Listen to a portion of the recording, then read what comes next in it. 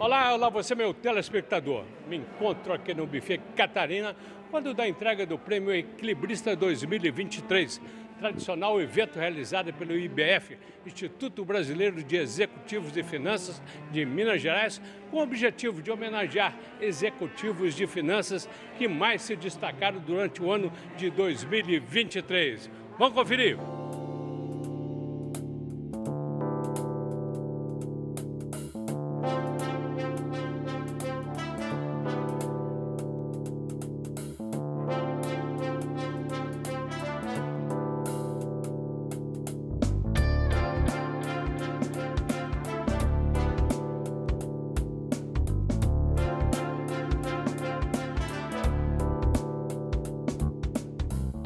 Gente que faz e acontece passa por aqui. Olha o Júlio aqui, Júlio Damião, fazendo e acontecendo. Contextualiza o IBF, mais uma vez estou te pedindo, para você situar o meu telespectador a importância do IBF, não só em Minas Gerais, que você representa, mas a nível Brasil hoje.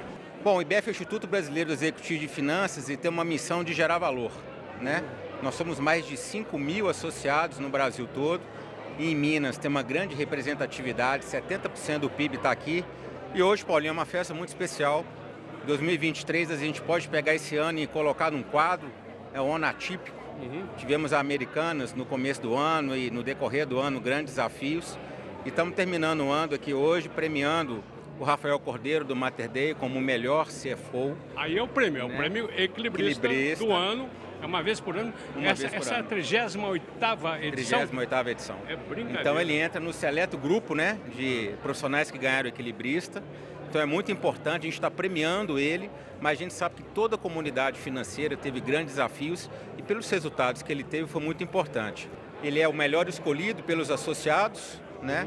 Então é uma meritocracia e o equilibrista, para você ganhar o equilibrista, a votação ela tem alguns critérios. Uhum. Resultado, a questão do ESG, de sustentabilidade, a questão de gerar valor. Hoje o financista, o CFO, a comunidade financeira, é, o perfil do profissional mudou. Não é aquele profissional mais que pensa só na caixa das finanças, é importantíssimo. Pensa estratégia, ele pensa pessoas, ele pensa mundo, ele pensa como é que o impacto né, no segmento dele, no mundo, né, junto com sustentabilidade, com o negócio dele, como é que ele faz para gerar, gerar lucro. E a sociedade hoje não está pedindo apenas o lucro, ela está questionando o seguinte: como você, empresa, está tendo lucro? Você está tendo um lucro sustentável, responsável? Uhum. Então é um grande desafio hoje né, para o IBF e a gente está seguindo essa tendência. Depois de 2020, principalmente, o mundo mudou muito, tá muito as coisas estão muito mais rápidas. Uhum. Né?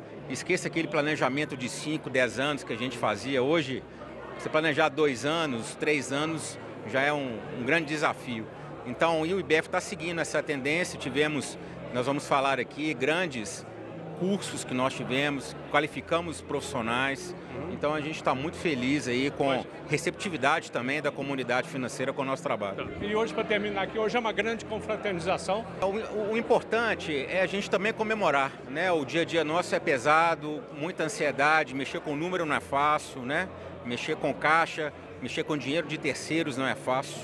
Então o dia a dia nosso é muito pesado, a pressão é muito grande, mas também é importante dentro das empresas, e o IBF não é diferente, da gente comemorar. E hoje é um dia de comemoração. Salve Rafael, Mater Day. Mater Day, salve Rafael. Ok, parabéns para você e toda a sua grande família aqui de quem faz e acontece. Obrigado a todos.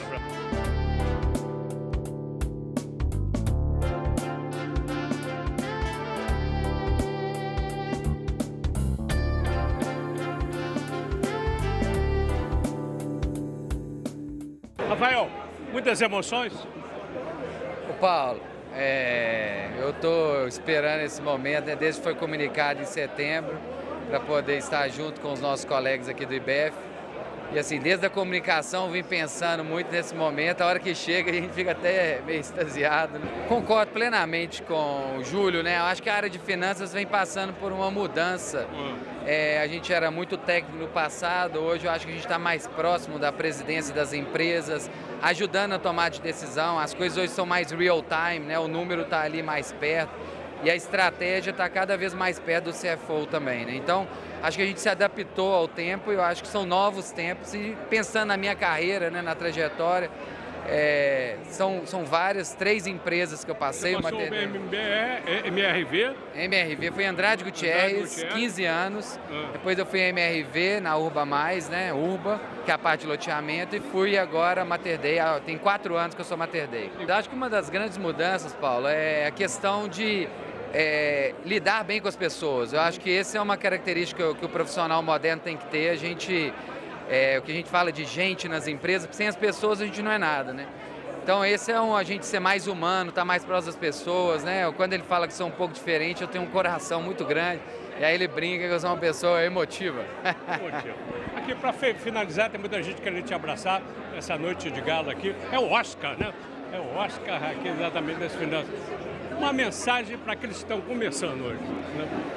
Ah, eu assim, olhando para quem está começando, olho no olho. olho no olho, quem está começando agora, é, tem que ter muita resiliência e muita força de vontade. Eu acho que a geração hoje tem muita ansiedade e às vezes quer o reconhecimento e crescer muito rápido. E as coisas acontecem no tempo certo, quando a gente antecipa, a gente erra. Então tenha, acredite onde você está, se você tiver uma boa liderança, vai fundo que vai dar certo. É, esse reconhecimento passa muito também pela oportunidade que eu tive no Mater Day, né? A gente fez muita coisa legal. Então, é, é, eu acho que é uma casadinha boa aí a minha chegada ao Mater Day. Obrigado. Prazerão. Obrigado. Valeu, obrigado.